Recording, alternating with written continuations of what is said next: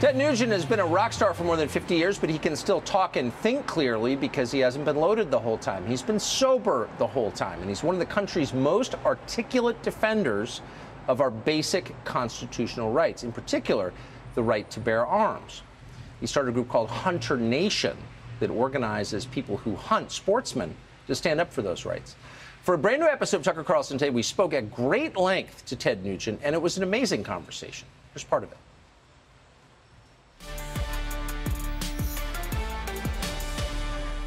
I'm in a political firestorm. I've always been confrontational, especially regarding the Second Amendment and Yeah. hunting rights. And I've never been uncomfortable when they attacked me. I go, so so venison is you don't recognize its value? You, what do you think deer are here for? If you don't eat them, what are they here for? Um, and carrying a gun, I would be attacked for carrying a gun. I go, so by the way, venison and self-defense are perfect, and you're attacking me for carrying a gun and killing deer? What are you nuts? And of course, they were all stoned.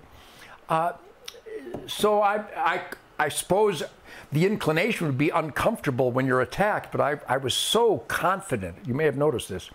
I'm so confident that the weekend with my dad and brothers deer hunting was perfect.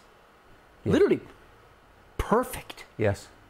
Balancing the herd, participating in God's miraculous creation as an asset to bring balance and thriving conditions, and training, aim small, miss small marksmanship. I'm a sheriff deputy for almost 40 years now. I trained with Delta Force Tucker. Get out of here.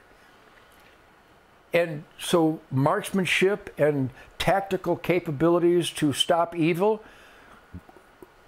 could it be anything but perfect?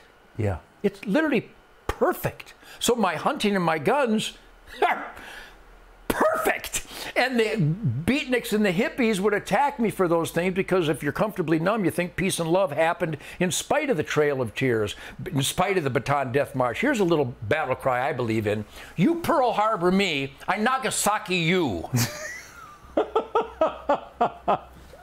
Just And that keeps us at peace. Yes! The best way to, to keep peace is to be ready to destroy evil. And if you don't destroy evil, it wins. Venezuela, Cuba, China, Yeah. Democrats, Chicago. Are you kidding me? Who doesn't see the glaring evidence? So I've always known I was in the righteous camp, not because of my opinion of what's righteous, but I consume evidence. I monitor evidence. I listen to stories. I see John Belushi got high, John Belushi's dead. I went hunting, I'm still Ted. Um, bad behavior, ugly results. Cognizant, conscientious behavior, happiness. So I, and by the way, you know, don't confuse comfortably numb with ultra relaxed.